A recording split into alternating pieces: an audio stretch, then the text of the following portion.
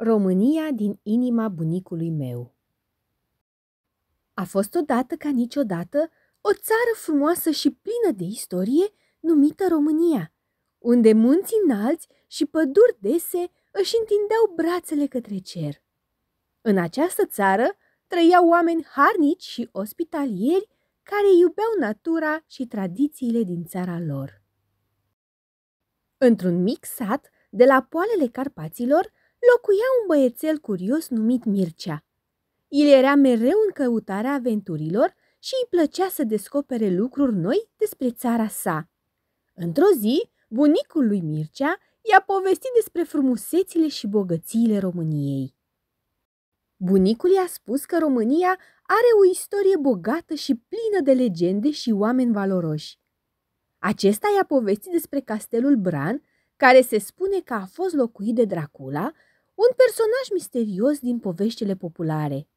Mircea a fost fascinat de această poveste și și-a dorit să viziteze castelul pentru a descoperi mai multe despre legendele din jurul lui.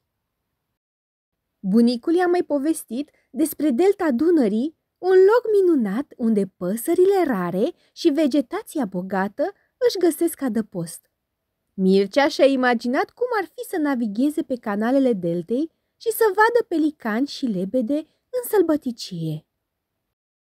Dar povestea preferată a lui Mircea era despre munții Carpați, unde se ascundeau peșteri și cascade spectaculoase. Bunicul i-a spus despre legenda babei Dochia, care se spune că primăvara își schimbă hainele în culori vii și că în fiecare an oamenii sărbătoresc venirea primăverii cu mărțișoare și tradiții frumoase. Mircea a fost atât de inspirat de aceste povești, încât și-a propus să exploreze toate aceste minunății ale României. El a învățat despre cultura și tradițiile țării sale, a vizitat castele și mănăstiri vechi, a explorat peșteri și a navigat pe Dunăre. Dar poveștile din inima bunicului nu s-au oprit aici. Au continuat să-i vorbească micuțului Mircea câte și mai câte, de la cei întâi conducători până la cei mai însemnați oameni din ziua de astăzi. Cu glasul blând, bunicul i-a șoptit micuțului. Dragul meu, cândva românii erau mândri că sunt români, dar cu timpul s-a lăsat umbra peste toate vitejiile țării și oamenii au uitat să iubească și să se mai bucure de țara lor, au uitat să spună povești frumoase din mostrămoși copiilor. Și cel mai important, au uitat că pământul pe care omul calcă e sfințit sau blestemat de însăși faptele lui. Așa cum e inima omului, așa e și inima țării lui.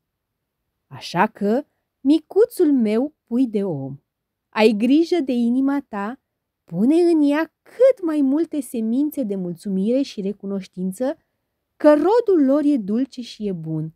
Astfel, oriunde în lume ai merge, n-ai cum să găsești ceva mai bun decât ai tu în inimă. Pe măsură ce creștea, Mircea a devenit un susținător al frumuseților României. El a împărtășit poveștile și experiențele sale cu prietenii săi din alte țări, încurajându-i să viziteze și ei această țară minunată. Astfel, povestea lui Mircea despre România a continuat să trăiască în inimile copiilor din întreaga lume, inspirându-i să descopere și să iubească frumusețile propriilor lor țări. Și astfel, România a devenit o destinație preferată pentru călătorii și o sursă de inspirație pentru copiii din toate colțurile lumii.